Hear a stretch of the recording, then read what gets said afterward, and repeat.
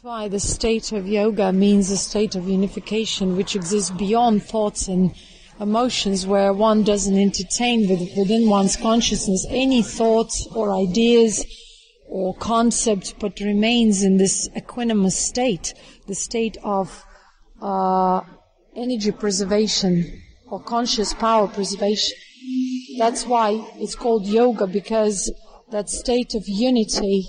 is that state above the thoughts and emotions and thoughts and emotions usually push us into a dispersed mode,